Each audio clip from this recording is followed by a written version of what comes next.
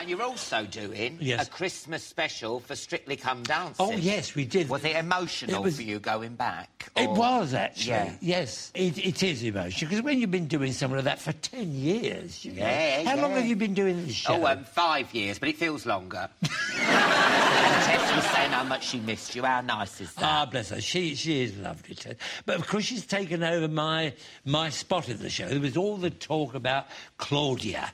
Yes. Claudia taking my place. She wasn't. She was taking Tess's place Yeah. up in her penthouse suite. Yeah, yeah. Where all, all the nonsense. I know, you had to go up those bloody All the- stairs all the time. She was just up there, Oh, yes, like, exactly. Like Same Evita on that balcony. You know?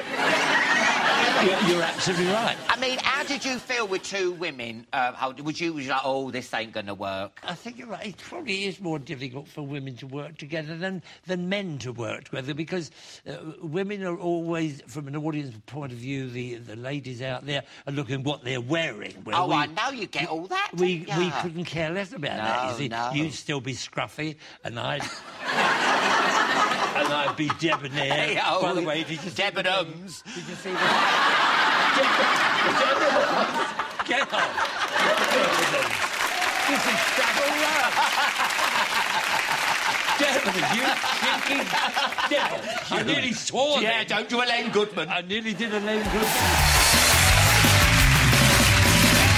Thanks for watching. And if you want to see more highlights from the show and have a sneaky peek behind the scenes, then don't forget to subscribe.